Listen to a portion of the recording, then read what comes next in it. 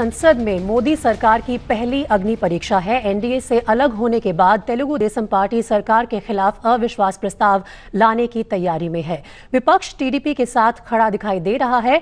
वहीं सरकार ने भरोसा जताया है कि अगर सदन में नोटिस आता भी है तो संख्या बल के आधार पर विपक्ष की हार निश्चित है।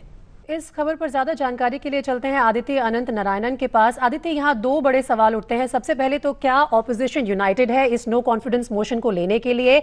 और दूसरा सवाल ये कि अगर वो यूनाइटेड है तो भी बीजेपी के लिए ये बहुत बड़ा चैलेंज नहीं होना चाहिए। Well, uh, Preeti, good morning. As far as the number games are concerned, uh, the opposition and specifically the TDP only wants to send out a strong message.